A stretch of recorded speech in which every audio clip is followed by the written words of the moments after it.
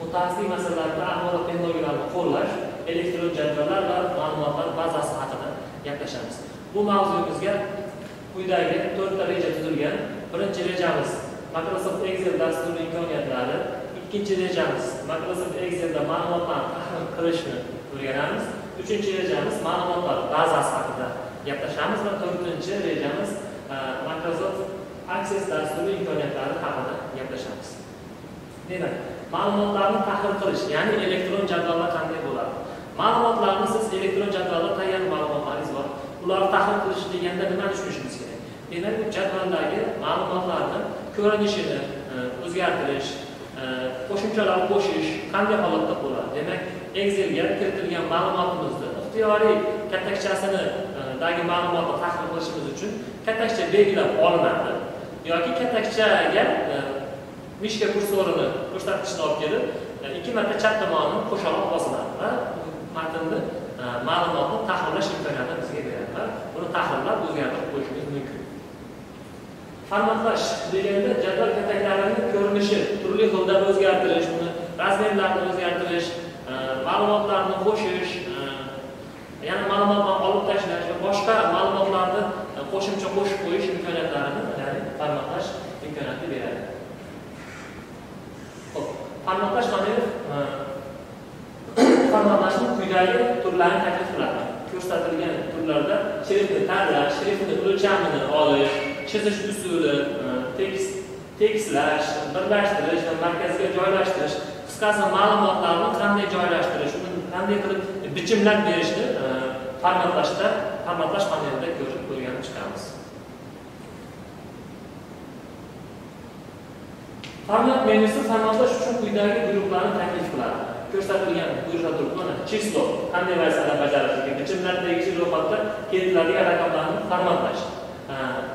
Viravlение nimalar e, ma'lumotlarni vazifalar qayta qisqasi barcha format menyusidagi buyruqlarni vazifalari ko'rsatilgan va qanday holatda ko'rinadi? Format yacheyki ko'rinishi holatda buni o'zgartirishingiz ma'lumotlarni yozishingiz mumkin e, axborotlarni tahrirlashingiz mumkin. Avtoformat. Avtoformat nima vazifani bajaradi? Avtoformat buyrug'ini ishlatib siz jadvalni tayyorlash tayyorlash uchun bo'lgan vaqtni tejashingiz mumkin. Masalan e, jadvallarni shakllarini buyrug'ini berib qo'yasiz qanday o'lchamlarda bo'lishi kerak va unga nimalar yozish kerakligini siz hamma buyruqlarni avtomatik tarzda ketib qo'yadi o'zi avtomatik tarzda e, formatlar uni tekislab e, sizga tushunarli holatga keltirib beradi. Funksiyalardan foydalanish endi. Funksiya bu bir yoki bir nechta ifoda bilan ishlovchi va jadvalning katagiga ifodani yoki ifodalarni qaytaruvchi oldindan belgilangan formullar deyiladi mana bu yerda ko'rsatilgan mana ko'rib turganingizdek mana bu yerda ism familiyalarni matn holatida yozib olishimiz mumkin. Familiyasi ismi otasining ismi mana lavozimi mana bu ish haqi miqdori ish haqi miqdorini beryapmiz va daromad soliq daromad soliq olyapmiz. Ya'ni o'n foiz o'n ikki foiz bo'ladigan bo'lsa formulani kiritishni bilasiz. Ya'ni teng ish haqi yozilgan katakcha masalan a birni a beshni berilgan katakcha va yulduzcha yana ko'paytirish belgisini va olinadigan daromad solig'ini foiz o'n ikki foiz belgisi bilan enter tugmasini bossak mana bunday holatda daromad solig'ini hisoblaydi. Mana ijtimoiy jamg'armaga ajratma. Ya'ni bunda ham o'zini foizini qo'yib mana kasaba uyushmasiga buni ham o'zini foizini qo'yib yozish mumkin. Mana endi aytyapti valyutadan bo'lash e, to'lash ya'ni qancha qancha pul to'lashligi qo'lingizga tegishligi mana bu yerda ko'rsatilgan. Demak e, bunga formulani kiritib qo'ysak o'zi avtomatik tarzda hisoblanadi. Siz har bitta ishchi uchun alohida formula kiritmaysiz. Ya'ni bitta qatordagi e, bitta tipdagi ishchilarni oyligini hisoblash e, formulasini kiritib olasiz va uni e, belgilab olasiz va chekkasidan plyus belgisi chiqqan paytda tortasiz. Qolgan ish haqilariga nisbatan xuddi mana shunday kiritgan formulangiz bo'yicha hisob kitob qilib beradi grafik obyektlar yaratish qanday bo'ladi? Excel turli xildagi grafik obyektlar chiziqlar to'g'ri burchaklar ellipsimon chiziqlar va hokazolarni yaratish imkoniyatini beradi. Unda siz excelda ham grafik ma'lumotlarni kirishingiz mumkin. Ya'ni e, instagrammalarni ham tayyor e, shablonlarni olib qo'yib siz e, ma'lumotlar tayyorlashingiz mumkin. Hujjatlarni oldindan ko'rib chiqish va chop etish. Siz excelda biror ma'lumotni qog'ozga chiqarishdan oldin uni bir qator ko'rib olishingiz kerak. Agar siz e, ma'lumotni ko'rib olmaydigan bo'lsangiz ma'lumotingiz e, formati listingiz o'rtasiga yoki katta holatda yarmi sig'magan holatda qog'ozga chiqib qolishi mumkin. Shuning uchun albatta bu mana bu buyruq orqali e, siz listga chiqarib olishingiz kerak ko'rib olishingiz kerak listga chiqarishdan oldin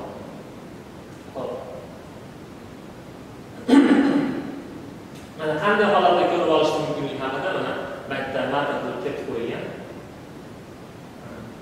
qanday holatda qaysi betdan qaysi betgacha ma'lumotni havoga chiqarishimiz kerakligini mana bu oyna orqali belgilab beramiz endi ma'lumotlar bazasi ma'lumotlar bazasi deganda nimani tushunishimiz kerak?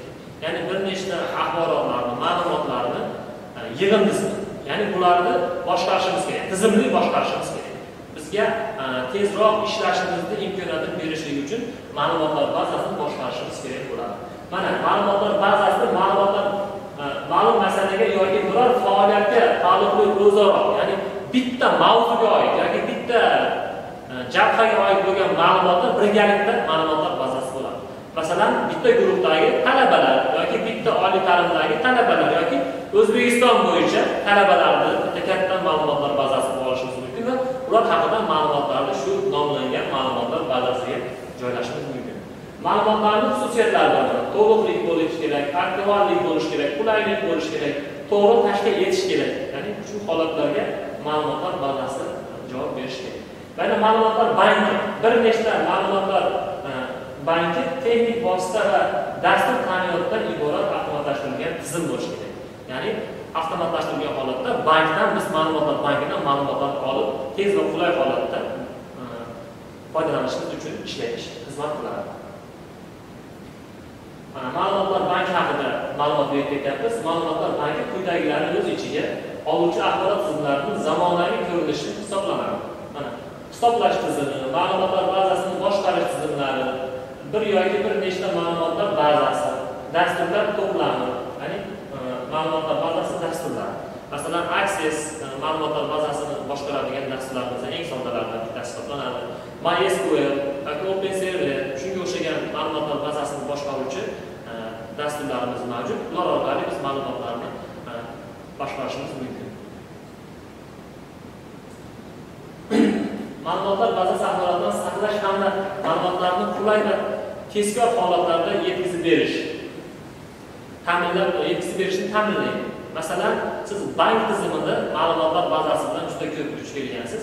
Ya'ni bankdagi kredit oluvchilarni ro'yxati va kredit oluvchilarni qancha miqdorda pul to'lashligi e, yilma yilga bo'lib qo'ygan ya'ni ma'lumotlar bazasida barchasi ko'rsatib berilgan bo'ladi va undan e, foydalanuvchi foydalanib shu orqali bankni xususiyatini qiymatini quvvatini ko'rib turadi orqali dastur orqali. Mana bu yerda ma'lumotlar bazasidagi axborotlar quyidagicha bo'lishlari kerak. Ya'ni qarama qarshi bo'lmasligi kerak. Bitta ma'lumotni berib keyingi holatda shu ma'lumotni qarama qarshi berib qo'ymasligimiz kerak ya'ni bitta to'g'ri bo'lishi kerak. Xatosiz bo'lishi kerak. Ma'lumotlarimiz xatosiz bo'lgandagina e, ma'lumotlar bazamiz sifatli xizmat ko'rsatadi. Ya'ni yaxlit bo'lishi kerak ya'ni bir butun holatda ko'rinishda bo'lishi kerak ma'lumotlarimiz bir birini qoplashi kerak. Bitta ma'lumotni e, boshqa joydan bitta ma'lumot umuman boshqa mavzuga tegishli bo'ladigan bo'lsa bu ma'lumotlar bazamiz ma'lumotlar bazasi bo'lmay qoladi ma'lumotlar e, ma'lumotlar bazasini ma'lumotlarni qayta ishlash masalalari qanday? Ma'lumotlar bazasi yaratish o'zgartirish yangilash tartiblash ma'lumotlarni qidirish e, fayl fayl ko'rinishida diskda saqlash diskdan yuklash hisobotlar yaratish va e, bosmaga chiqarish holatlarini e, bajaradi. Ma'lumotlar bazasi tushunchasi bilan ma'lumotlar banki tushunchasi ham mavjud. Mana ikkala holatdan mavjud. Mana bu yerda ko'rsatib ketganmiz ya'ni ma'lumotlar banki tushunchasi ikki xil taqdim etiladi aytilyapti hozirgi kunda ma'lumotlar markazlashmagan holda shaxsiy kompyuter yordamida qayta ishlanadi ilgari ular alohida xonalarda joylashgan ehmlarda markazlashgan holda qayta ishlangan.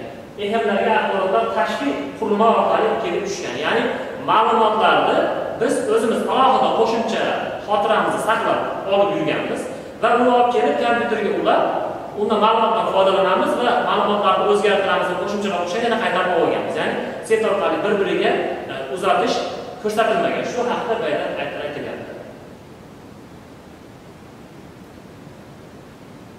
ma'lumotlarni ishlash afzalliklari ya'ni e, bir afzalliklar haqida gapiradigan bo'lsak ma'lumot birinchidan ixcham ko'rinishda turadi elektron bo'lgandan keyin uni uzatish osonroq bo'ladi ya'ni tez va to'g'ri uzatamiz va uni qayta o'zgartirish ya'ni qog'ozdagidan ko'ra tahrirlash yana ham osonroq bo'ladi ya'ni kam mehnat sarflaysiz kam mehnat sarflab ko'proq ishni bajarishingiz mumkin Ya'ni qog'ozlarga yozib hisoblab o'n kishi, 20 kishi, undan ko'p odamni ishini birdaniga ma'lumotlar bazasida bir kishi kompyuter qon yordamida bajarib qo'yishligi mumkin. Mana bu yerda nazorat savollarimiz berilgan. Nazorat savollarimizga javoblar berishlaringiz mumkin. E'tiborlaringiz uchun rahmat.